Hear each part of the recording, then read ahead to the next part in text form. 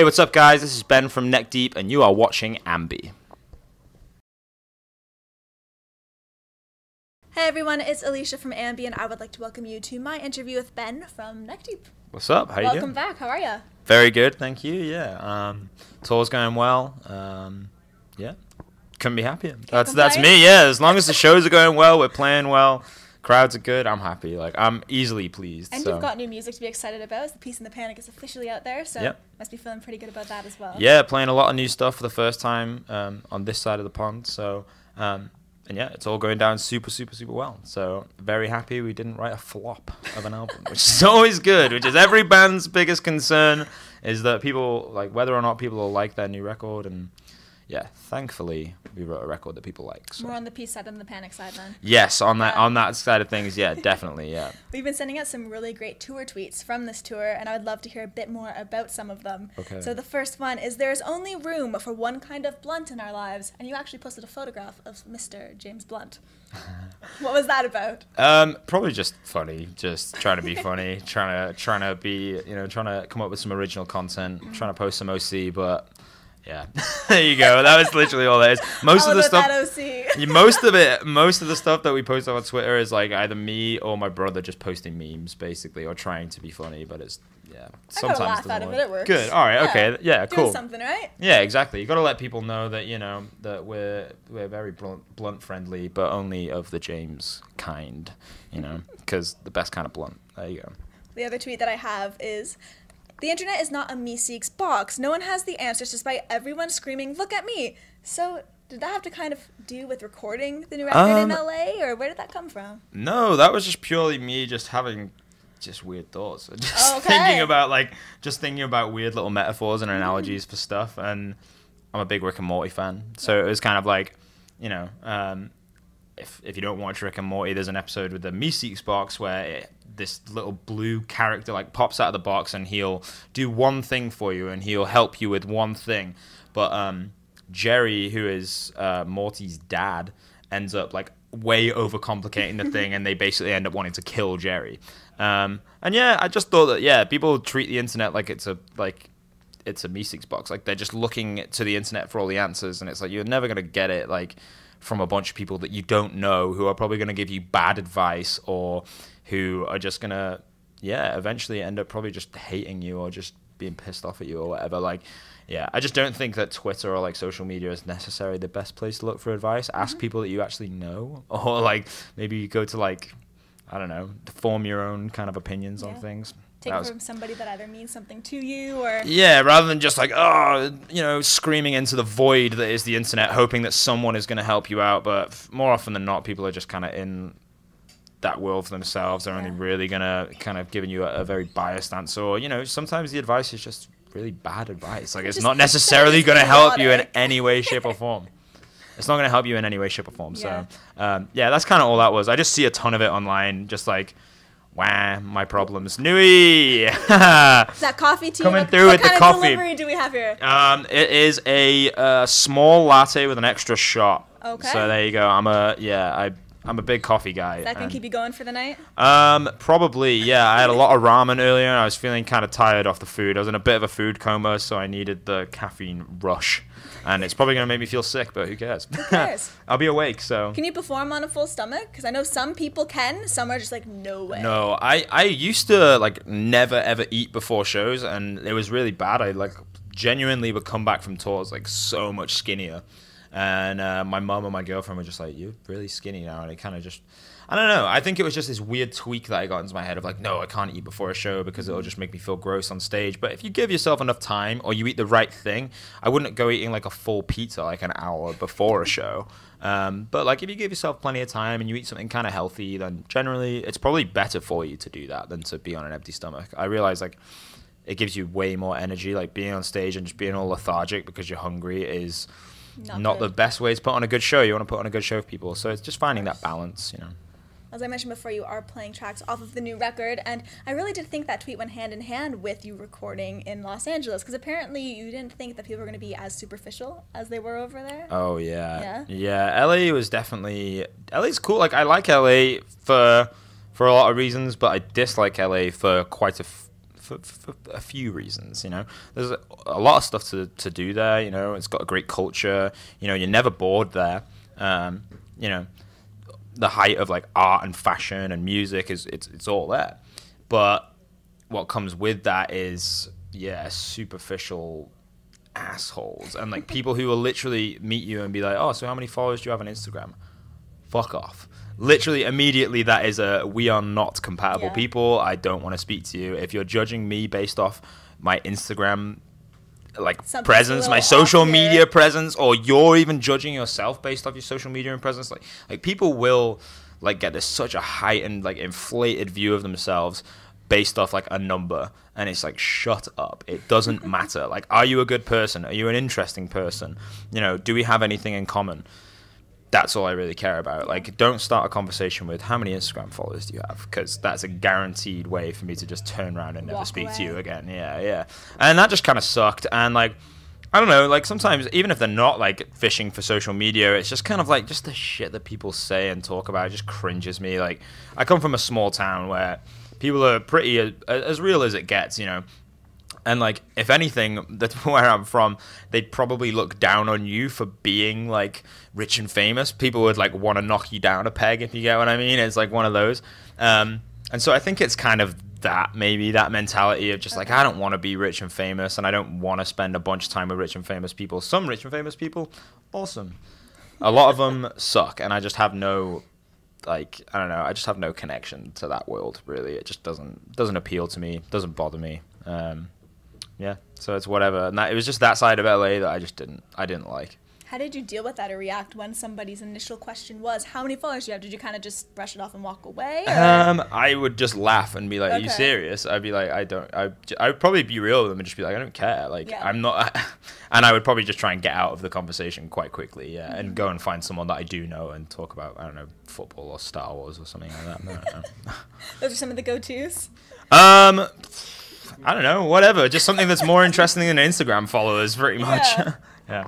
My favorite track off of the record release is Motion Sickness because for me, I lost my grandmother a couple of years back and I went through that same thing that's in the song where you kind of hear the voice and you're trying to get over it and it, it just keeps coming back to you and it's really hard to go through, you know, it's Yeah. a tough time. So for you, was it more therapeutic writing about that kind of stuff? For sure. Um, yeah, like obviously I lost my dad like a year before. Uh, no, not a year before the record. Like about well, it was just over a year ago now. Um, but like a couple months before we wrote the record, and you know that happened, and I was like, well, shit, I know what I'm gonna be writing about. You know, I know where I'm gonna be coming from on this record, and absolutely, yeah, it was therapeutic. Like I had some real like moment of clarity moments on this tour on uh, uh, during the writing and recording of that record where I like really dug deep into myself and like you know realized a lot about who I was and where I came from and like you know these weird traits of my personality like where I would get them from and yeah and just like you know shit in my life that I want to fix and make better and how I want to be a better person like I had these real like moment of clarity moments there, and I think a lot of that just comes from being so introspective. You know, thinking about the death of my father, thinking about how, like how you know how death affects your own life, and how death is such a big part of life, and you know, like how uh, where do we go when we go? Like the whole leaving the record on. I just want to get one up on life before it kills me, because you know, coming to this very swift realization that. Um, one day we're all going to die and there might be something after it or there might not but what really matters is to make the most of where you're at now and that was like a big moment for me to realize that kind of thing and like really come to terms with like death and loss and you know we'd experienced so much of you know our fans telling us how our music helped them but i think it was one of the first times that for ourselves we were writing a lot this time you know. Um, Li- life's not out to get you i remember sitting down and saying like i want to write a record that will stop people wanting to kill themselves or stop people self-harming because i'd seen so much of that.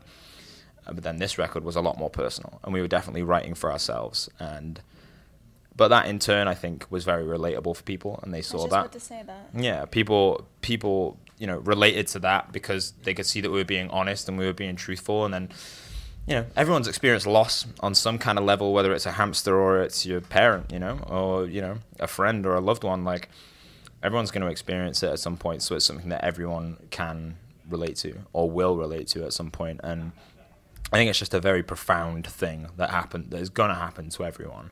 Uh, the loss of like a parent or a friend or something like that, and um, yeah, I just think it gave us a really good kind of basis for this record for us to like really open up and just be honest with our fans, be honest with ourselves, and like yo, I've learned a lot about myself in the past year, and um, I think I let that out on the record. Absolutely. Fans clearly appreciate it as well.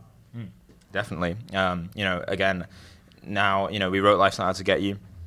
And we helped our fans out of, you know, if they were struggling, you know, maybe gave them a little mantra to live by with Life's Not Out to Get You. And I still absolutely stick by it. But it was definitely, I think people appreciated us being a bit more open and a bit more honest and maybe a bit more realistic in terms of like, hey, you know, things get tough sometimes. It can't always be, you know, roses and a positive outlook on life isn't always going to stop things like death happening, you know? Like sometimes things like that just have to happen. And it was that realization of like the good and the bad together and this whole balance of peace and panic and, you know, the good and the bad, the yin yang. And, you know, it's not an original teaching by any means, you know, people have been saying it for thousands of years, but it's true. You got to have, to have the good, you got to have the bad. And I think that was just that was a realization that we came to on this record too and i think it's something that people can relate to you know and as long as you're reminding them that the good can still be there you know that you know in the times when when things are bad throughout the, the panic the good stuff will come to you. You just got to kind of push on through it and, and maintain a, a positive outlook. Still, you know, it's still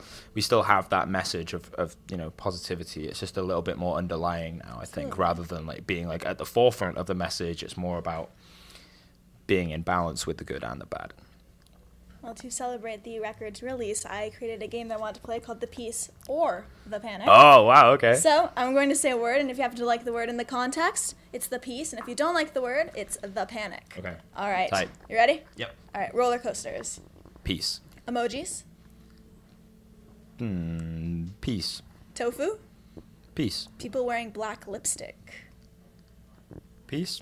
magic, Mm, if it's the gathering, then peace.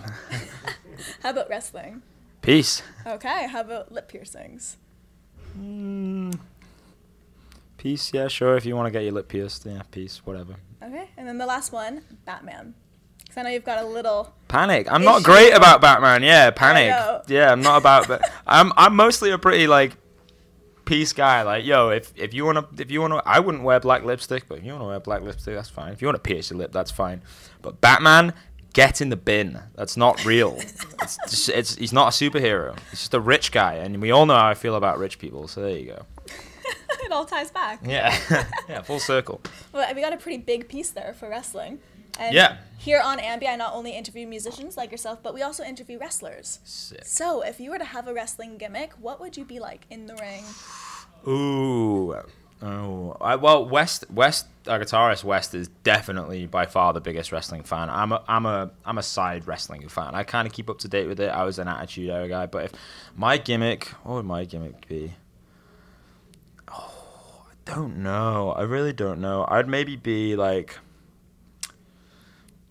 In the UK, we have like chavs and scallies. Like that's a thing. Like guys in like shell suits and Okay. like you know from like kind of poorer areas stereo- stereotypically uh, is you know from like rougher areas. And it's definitely like a northwest thing or at least it's still a northwest thing. So where we're from you still get these these characters. And i would just be one of them because they're pretty tough. They're pretty rowdy. They like a they like a scrap. They like a fight. So i'd maybe be like some sort of like refined chav type type guy. Like and plus i get to wear like tracksuits and stuff so it's kind of like sporty kind of look you know? I could maybe get away with like i don't know some kind of like spandex type get up i don't know. I'd probably be i'd probably be like some sort of scally chav thing though yeah. Then you just get in the ring and tear shit up. That's the, yeah that's the pretty much. Plan. yeah yeah yeah. That would be easy but yeah. I don't know. I'd probably get torn up to be fair because um, yeah i'm not much of a i'm not much of a fighter that's probably why i like wrestling because it's fake so i'm like oh okay no one's getting hurt okay Sometimes. yeah so i mean yeah for the most part No scrappiness though. You don't think you'd be able to. um may, maybe maybe i mean you know i if i if now these days i'm not much uh, like i i will just try and avoid all conflict at any cost ever um but yeah back in the day you know i was you know I'm from a working class town. People love a scrap. That's probably all my town is really known for is like drinking, fighting, smoking, and yeah, just being gross and just being crass. So I would just embody that character probably, and um, yeah, but I'd have no like real finesse or flair or anything like that. It would just be pure scrappy. It would just be me being like probably kind of. I'd definitely be heel. I'd definitely be throwing a couple low blows. Oh, I know. I know. I'd heel, be heel. baby face. He got. He has. I'd be heel. I'd be heel if any. I would definitely be heel. I'd be going in with the low blows. I'd probably be like, yeah, I'd have some underhand tactics for sure. Yeah, I think that's the that's the that's the method of the chav is definitely under underhanded tactics and just being scrappy and just being being rough. Yeah, that would be my whole vibe. I think. I yeah. feel like all we need is the gear, and you're ready to go. This is pretty Yeah. well thought out for what, like a minute and a half. Yeah, for You a minute and a half, it. yeah, like straight on the spot, that was good. I'm sure West probably has thought about his all day, every day, so he could probably give you a comprehensive answer. He's probably like actually thought it out. He's probably done little sketches of like the outfits and everything. Like, yeah. Um, but yeah, off the top of my head, I'd probably go for that. But we'll see. I'd probably have to sit down with Vince, and he'd probably refine it for me. He'd be like, "No, we don't know, we don't like that," and he'd probably just give me something to to wear or whatever. So I don't know. We see. I'd just like to uh, to be in the ring. I'd like to just walk down the ring. That would probably be all I do. I'd maybe be one. walking down the ramp? Yeah, just that. That'd be it. That'd be it. And then I'd just get out of there. I'd probably get slammed straight away. Get slammed. I'd be the guy in the rumble who just goes out straight away. I'd be fine with it. I'd be like the Hornswoggle Yeah, of the world. I'm just like kind of like a gimmick character. Yeah, because I don't actually want to spend the rest of my career getting slammed on my neck and my head and my back and everything. I'd rather just be the comedy character for a bit. That'd be that'd be fun. How about if you could have any band play you out? Because I mean, you, you were even thinking about running this by your boss, Vince. I mean, Yeah, um, I don't know. When Motorhead played uh, Triple H, and that was sick. I remember watching that as a kid and thought that was really cool. Um, kind of any band.